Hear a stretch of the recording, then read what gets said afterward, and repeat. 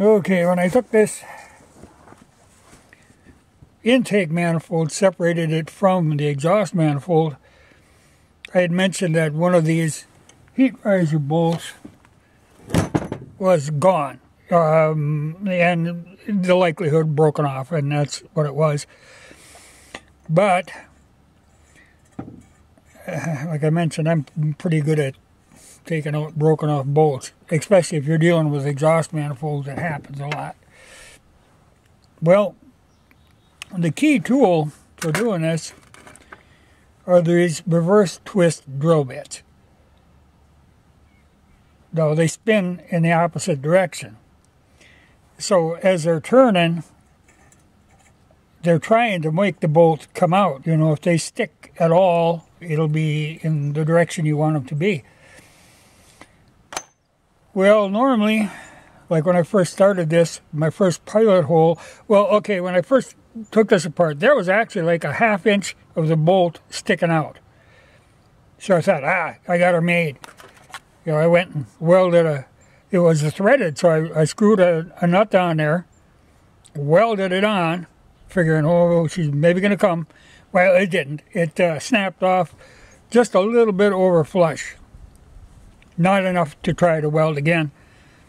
Normally, if you got exposed bolt, you know, that works because it heats it up.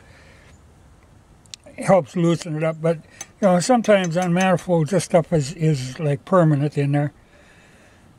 So, then the trick is, with the stud that you have broken off in there, make sure it's level, you know, grind it flush if you have to, and then be really careful with the center punch and make sure you're getting exactly in the center of that broken off stud. You don't want to be off at all. Uh, you know, it's nice if you can get a stud out and you can see that you drilled right down the center of it. But anyway, that's what you got to do. And there's a trick.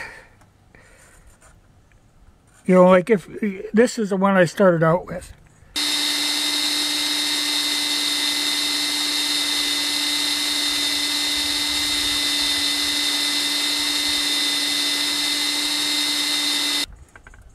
Well, my hope was that I could get enough of a bite then with an easy out to get it to move, but it wasn't going to move. And there's two types of easy outs. There's these fluted, you know, straight ones, and then there's these curly things. I've actually had better luck with these because these again are a reverse twist. You turn these backwards, you know, you're trying to get the bolt to come out. I mention this repeatedly because I saw one time uh, somebody on the channel was uh, removing a broken out bolt with reverse twist drill bits and then running it in the normal right hand rotation and just burning up the bit. It finally got hot enough, it hooked, and then it screwed the stud down in there, you know, into a spot you didn't want a broken off stud screwed into. But that was just, uh, obviously, he didn't know what he was doing. You know, because reverse twist means you got to run them backwards. Like I say, I haven't had a lot of luck with these because what these tend to do, well, they'll work if you leave enough of a wall, if you don't have to drill too big a hole. If the wall is too thin, they expand the bolt and just lock it in there tighter. So I don't use them a lot. I try them, but I've had better luck with these squared ones. There is another type that looks kind of like this, except it's very fine serrations, and it actually has a shoulder on it.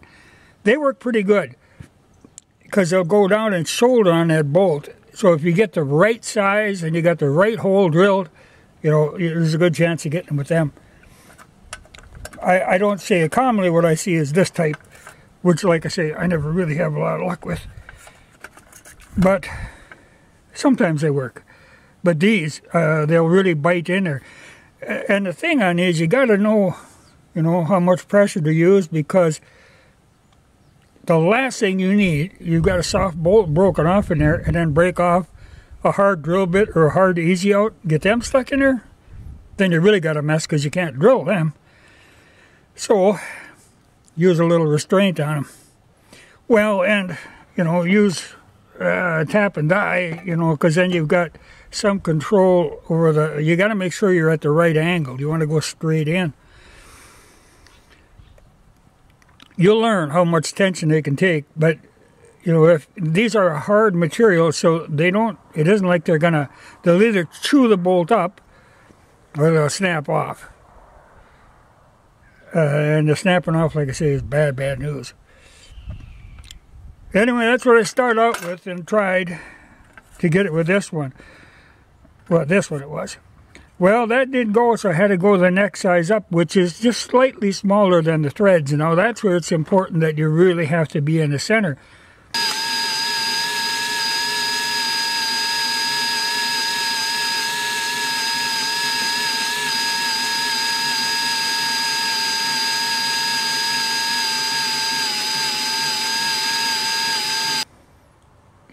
because if you're off at all, then you're you're chewing up, you're putting in new threads and and leaving parts of the old ones in there. So you really got to be centered. You want it so that you know when you actually run a tap through there later, you can you can actually get back in the original old threads. Because once you do that too, then you have to run yeah, the regular proper tap through there.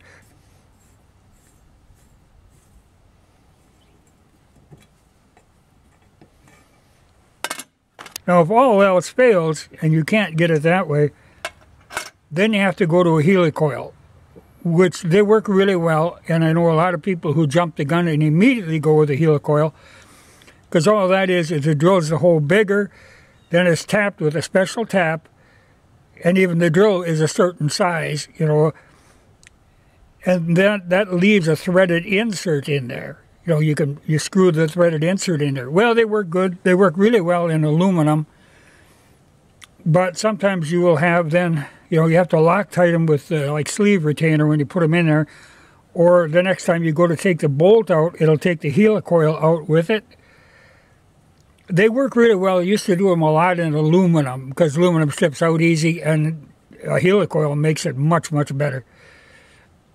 But the main thing when you're doing this sort of thing, you got to be right on the center, right on the money. You can't be uh, at an odd angle or, or drifting off, especially like say if you have a broken off steel stud in aluminum where the aluminum is softer than the steel and if it wanders over it's going to start chewing up that aluminum in a hurry you know it'll it'll just go and if you're using these reverse twist drill bits you know most press drills don't have a reverse on them. So I end up using, you know, my regular hand drill. So it's very important. You know, a press drill, you could kind of line it up, but you end up using a hand drill, you really got to look it over careful and make sure that you're going square in there. But the main thing, got to get it right in the center. Because now this will work fine. This I'll have no problems. In fact, my you know, there's normally a little give-in threads, you know, a little like that. And actually, my new threads are tighter than the old threads are. So, she'll work. I was just lucky that no more broke off.